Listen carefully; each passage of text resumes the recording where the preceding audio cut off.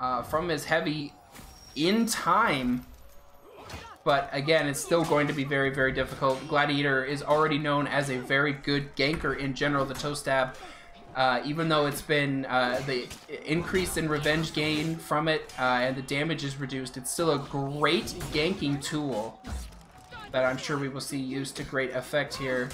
BP is already dead, again, in the middle of those, um, middle of the engagement, but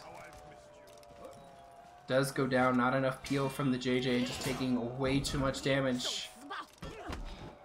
So again, a, a potential hyper armor could negate the skewer, but then you are still trying to deal with the unblockable that comes out from the Hu. JJ doing actually a pretty decent job here uh, of anti-ganking. A big problem is both both players. Um, Mo is missing the deflect timing. There's been like four or five uh, uh, zone attacks in a row, six now, and uh, he just has missed, so they just have to toe stab and get the win. But Mo, Mo a little bit asleep at the wheel here. Yeah. Uh, earlier on that round, we saw a nice uh, heavy there from Blitz, able to swap his heavy over to the right side, so was actually able to hit both players. Uh, it's little things like that that really help out players uh, in just being more effective in twos overall, but uh, really just what a what a finish to that round. But just, uh, it's looking like this this tournament grand finals match is just becoming gaming practice for Mo and Blitz. Uh, but their opponents are doing a little bit better this round, so we might see a different result. Uh, Blitz just kind of dancing around with Zhanhu as you do. Uh, however, both his opponents very low. JJ at one bar, Mo needs to be a little bit careful here. He's at uh, about a bar of HP. I don't think uh, he can survive a heavy at this point. Uh, so they're trying to set up a deflect, but a flip might, yep, a flip is certainly going to put a damper on things, but not going to get the parry or a flip on the unblockable there, and that's going to be 2-0. And we are on tournament point right now, only one round away, Soresu, from a victory for Mo and Blip.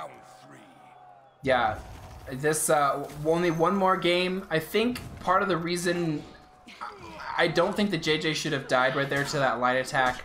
He really should be trying as much as possible in these team fights to be um, externaling the Zhanhu. We do see, a, a, I think, a, a deflect or a, a, uh, skewer from neutral hitting on the BP, and now at BP is at about half HP.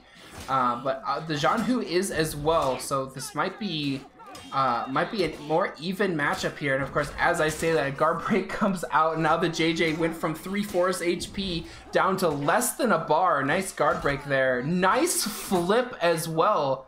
So very good, uh, very good play from the BP. This is definitely winnable for the BP, but Zhanhu is quite a menace.